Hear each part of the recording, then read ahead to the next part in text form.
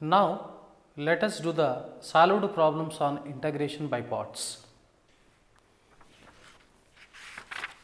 First problem evaluate integral x sin inverse x dx. So, how to find out the integral of x sin inverse x dx? x sin inverse x dx. So, now let us start. Here say i is equal to integral x sin inverse x dx. Let us observe the integrand. So, integrand is consisting of how many functions here? Here we have two functions, one is x, other one is sin inverse x. Sin inverse x is the inverse trigonometric function and whereas x is the algebraic function. We know the LIAT rule. As for LIAT rule, actually inverse function comes first. So, sin inverse x should be taken as f of x whereas x should be taken as g of x. So, first function is sin inverse x, second function is x. That means this is the first function whereas this is the second function. Now, integration by parts applying the formula integral of sorry first function sin inverse x integral of second function x dx minus integral of derivative of first function that is sin inverse x and next integral of first function second function that is x dx and whole dx. Now, here integral of x dx is x square by 2. So, we can write x square by 2 sin inverse x minus integral of what is the derivative of sin inverse x? The derivative of sin inverse x is 1 by root of 1 minus x square. 1 by root of 1 minus x square. What is the integral of x dx? That is x square by 2 and dx. So, take out of common, take inside minus.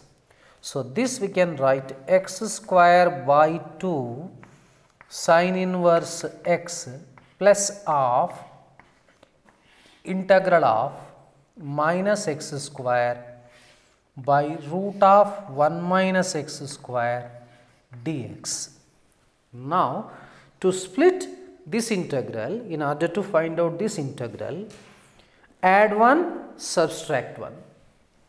Now, this can be written x square by 2 sin inverse x plus of times integral 1 minus x square and minus 1 upon root over 1 minus x square and dx.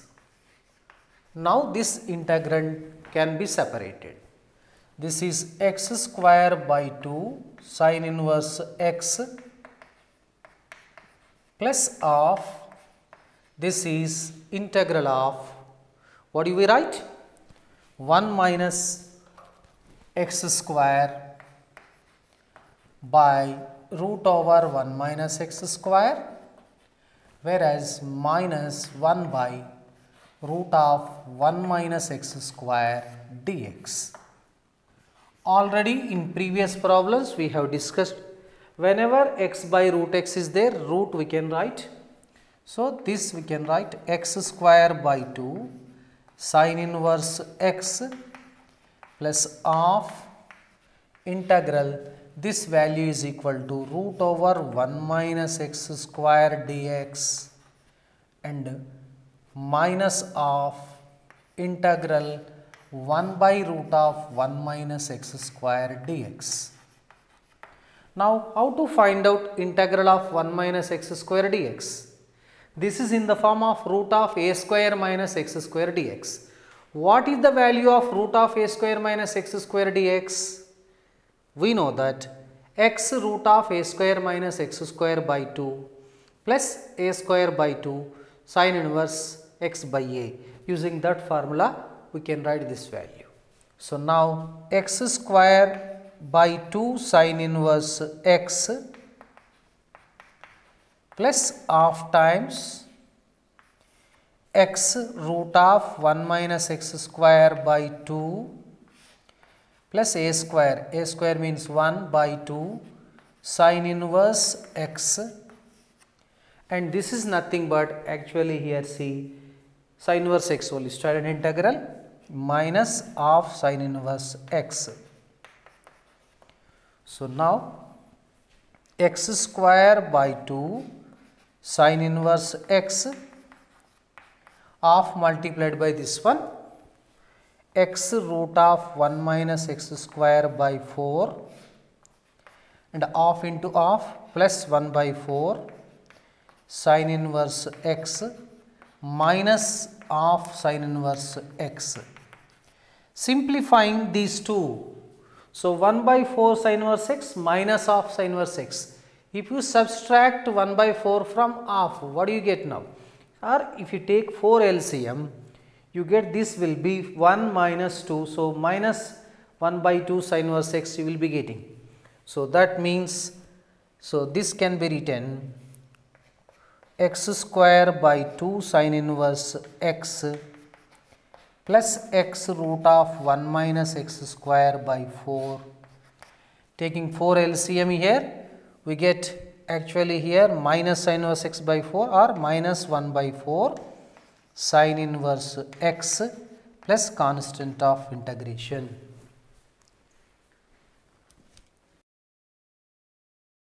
Second problem evaluate integral x square cos x dx. Now, let us observe the integrand. In integrand, how many functions are there? Here we have two functions. What are they? One is x square, other one is cos x. This cos x is the trigonometric function whereas x square is the algebraic function. See using this LIATE rule, LIATE means this is trigonometric, this is algebraic, this is first function you have to take, this will be the second function. Uh, this will be first function, this will be second function as for the order. So that means here x square will be the first function, cos x will be the second function. So, now let us do it now. Here i equals to integral x square cos x dx. As for LIAT rule, this is the first function whereas this is the second function. Now, first function integral of the second function dx minus derivative of the first function d by dx of x square and integral of second function that is cos x dx and whole dx. Now, here x square integral of cos x is sin x. So, sin x minus derivative of x square is 2x. This is sin x dx. Now, x square sin x and minus 2 common integral x sin x dx. Again, what do you observe here? Again, we get product of the two functions. Whenever product of the two functions is, is there, we have to apply again integration by parts. So, let us say this is equation 1. Now, consider, consider say I1 because already this is I. So, now is equal to integral x sin x dx In this case, this algebraic function is first function, this will be second function. This is not i, this is first function that is second function. Now, this is equal to first function x integral of second function sin x dx and minus integral of derivative of first function is x and integral of sin x dx and whole dx. Now, this is equal to x into what is the integral of sin x? Integral of sin x is minus cos x. So, this x of minus cos x minus what is the derivative of x? The derivative of x is 1. So, need not be written. The integral of sin x dx is minus cos x and dx. Minus taken out this is minus x cos x. So, minus of minus plus integral cos x dx. Integral of cos x dx is sin x. So, minus x cos x plus sin x. Now, substituting this value here we get the i value. So, from equation 1 Therefore, required integral i is equal to x square sin x and minus of 2 times